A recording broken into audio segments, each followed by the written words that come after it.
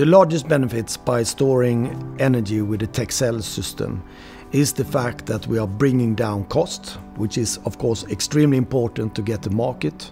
Uh, the second part is the fact that we are uh, bringing a new circular system to the market that does not include any rare earth minerals.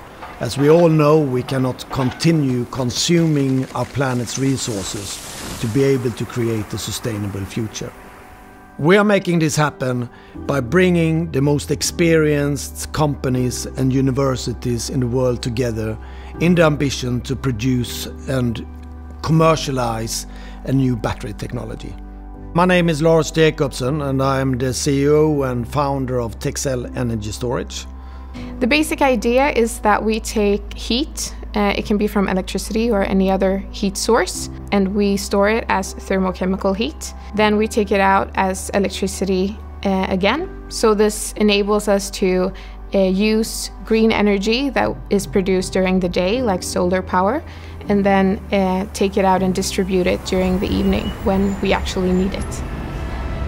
My name is Johanna Engvall and I work as a technical project manager at Texel Energy Storage. After working in automotive industry with uh, charging and lithium batteries, I felt like I wanted to work uh, with the more sustainable, a truly sustainable uh, energy storage system. And uh, that's how I found uh, Texel. The battery consists of a hot side and a cold side, the reaction side and the storage side. To charge the battery, you heat the reaction side with any kind of electricity or heat source.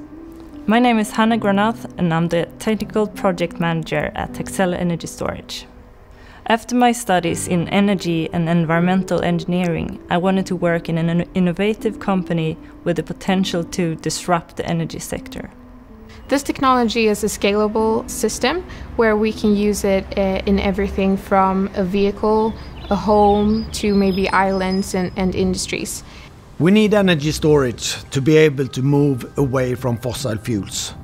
Today we can see cheap solar, cheap wind, but the problem is distribution. We are now in a position when we are preparing for our first demonstrations, at the same time as we are preparing for industrialization of the technology. We need all the support we can get. We need EU funding to decrease the time to get the technology to the market and to meet the climate targets.